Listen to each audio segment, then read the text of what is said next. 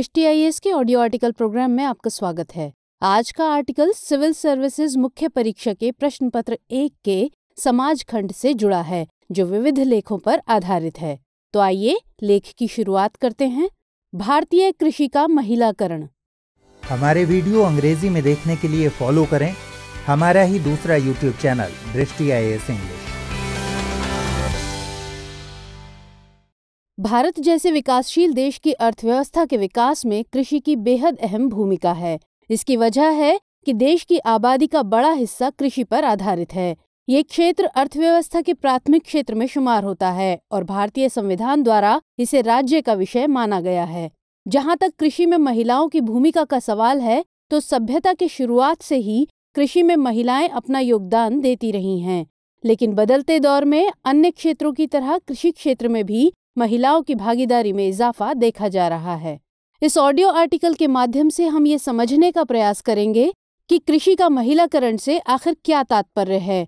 इसके अलावा हम भारतीय कृषि में महिलाओं की भूमिका को भी रेखांकित करने का प्रयास करेंगे। कृषि के महिलाकरण की राह में आने वाली तमाम चुनौतियों और सरकार द्वारा इन चुनौतियों को कम करने की दिशा में किए जा रहे प्रयासों की भी पड़ताल हम इस आर्टिकल के माध्यम से करेंगे। साथ ही कृषि क्षेत्र में महिलाओं के समक्ष चुनौतियों को कम करने के उपायों पर भी बात करेंगे। तो आइए, सबसे पहले समझते हैं कि कृषि का महिलाकरण आखिर है क्या और इसमें महिलाओं की भूमिका क्या है।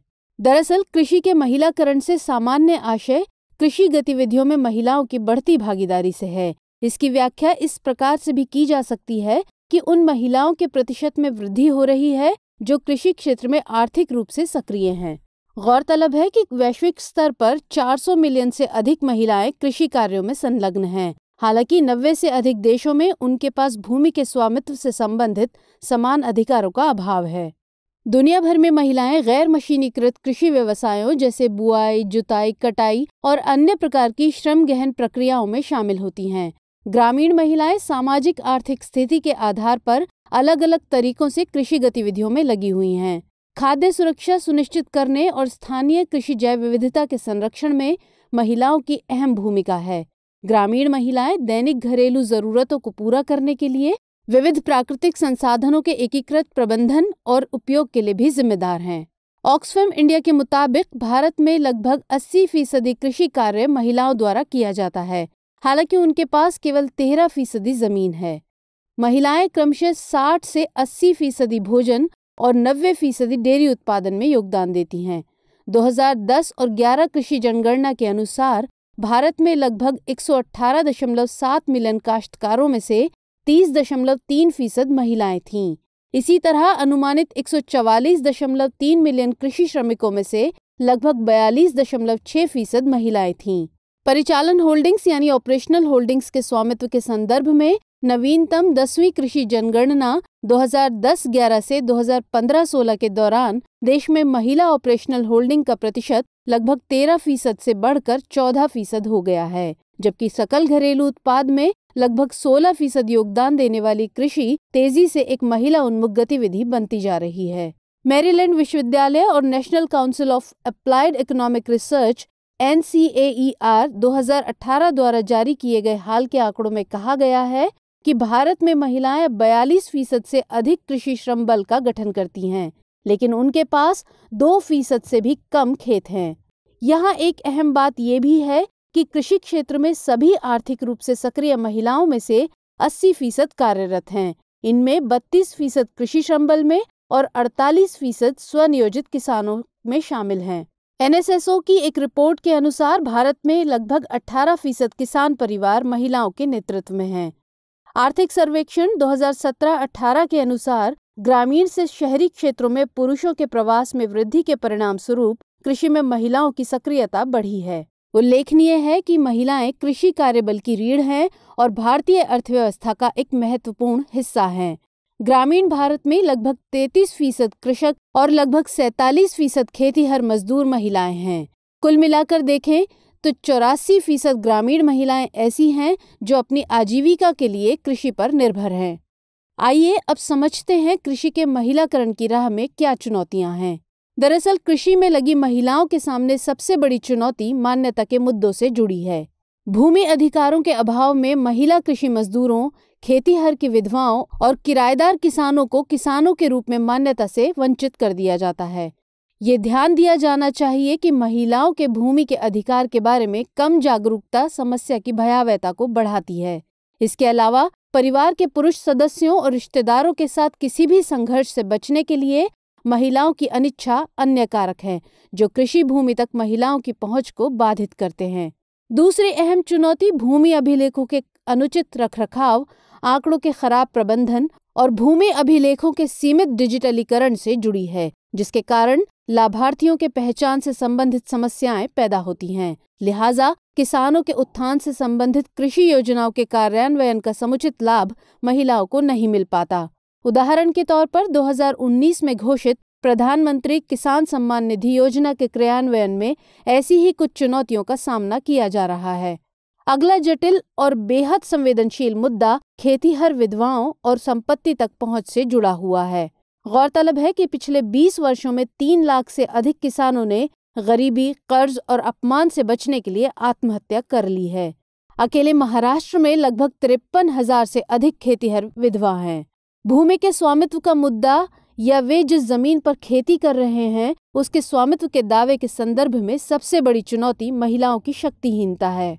2015 के एक आंकड़े के मुताबिक, लगभग छियासी फ़ीसद महिला किसान हमारे समाज में स्थापित पितृसत्तात्मक व्यवस्था के कारण ज़मीन के इस मालिकाना हक से वंचित हैं।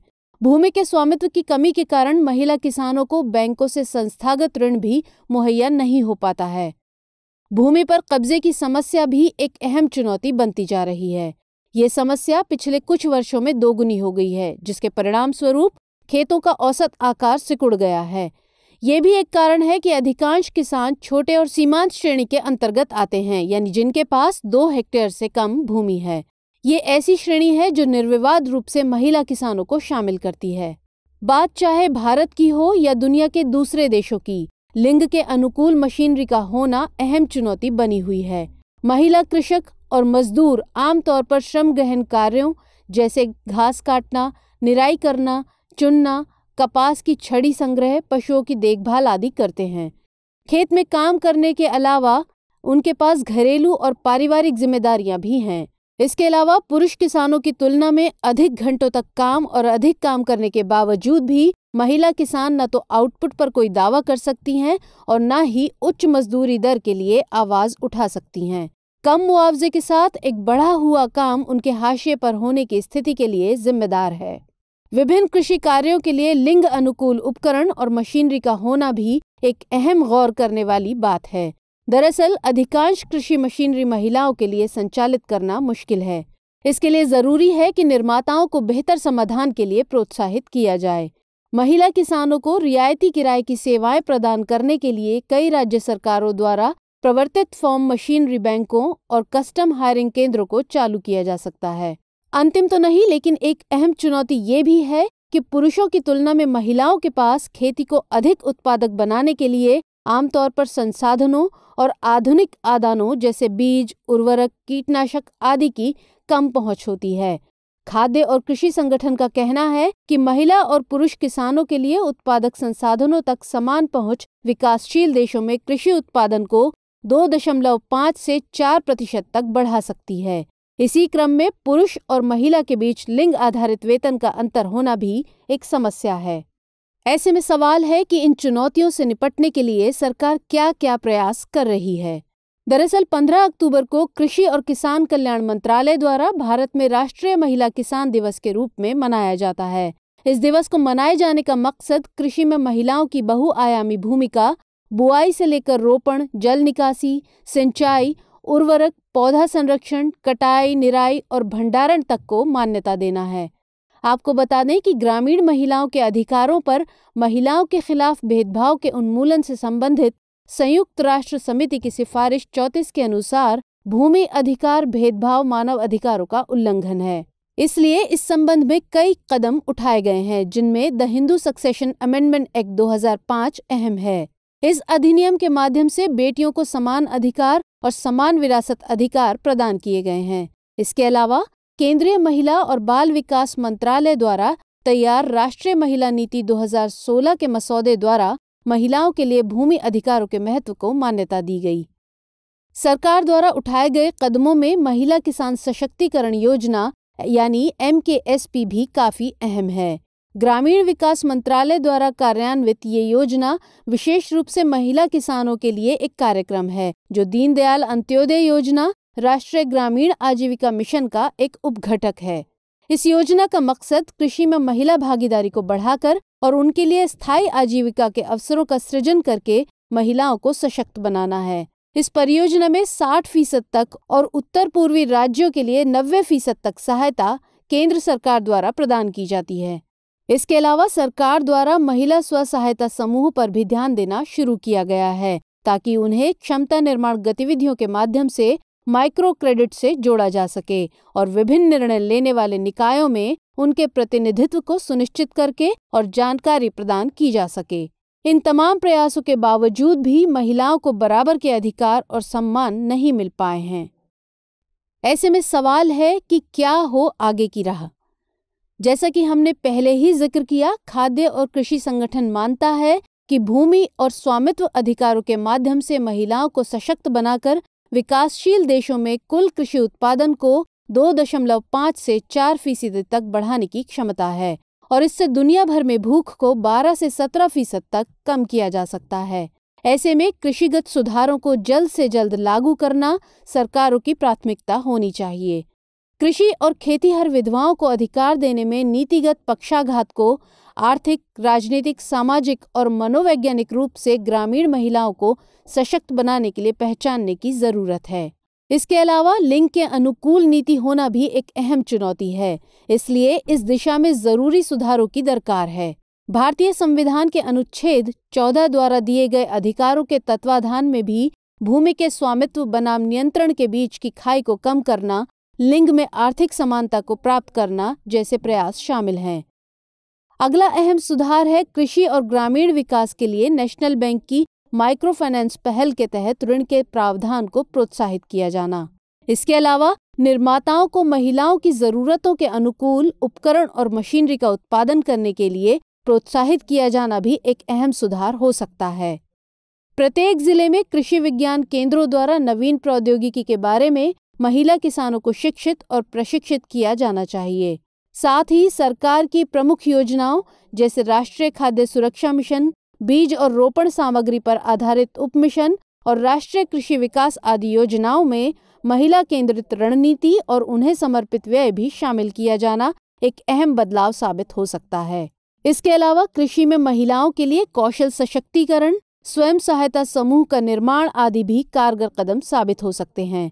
महिलाओं को आत्मनिर्भर बनाने के लिए सामूहिक खेती की संभावना को प्रोत्साहित किया जा सकता है। हालाँकि, कुछ स्वयं सहायता समूहों और सहकारी आधारित डेयरी गतिविधियों जैसे राजस्थान में सरस और गुजरात में अमूल द्वारा महिलाओं को प्रशिक्षण और कौशल प्रदान किया गया है।